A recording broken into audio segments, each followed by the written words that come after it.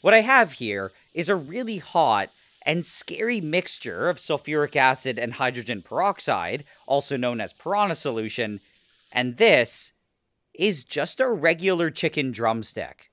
I've been really curious to know what it would do to a piece of chicken, and I'll just carefully lower it in. Almost immediately, it started bubbling, and the reaction slowly got more and more violent.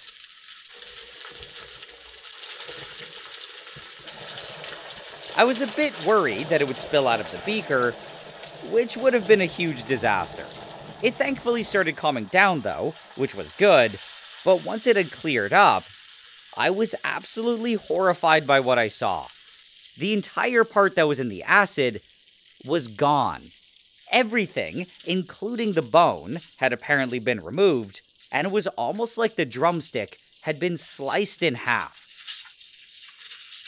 I then continued adding peroxide, and the reaction started getting violent again. The piranha solution was vaporizing anything that was made of carbon and turning it into CO2 gas.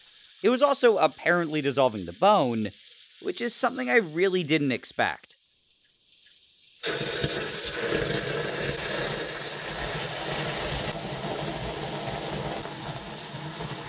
When I eventually stopped adding the peroxide, I was actually shocked by what I saw.